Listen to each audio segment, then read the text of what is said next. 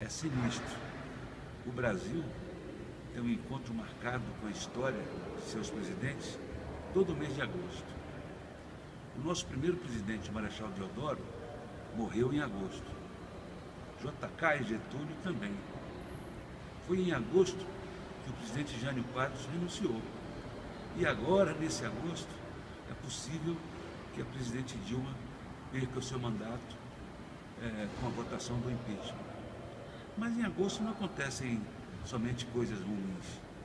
Por exemplo, o Plano Real, que estabilizou a nossa moeda, foi criado em agosto, foi lançado em agosto. E em 1988, a Constituinte assegurou a cada cidadão o direito de livre expressão.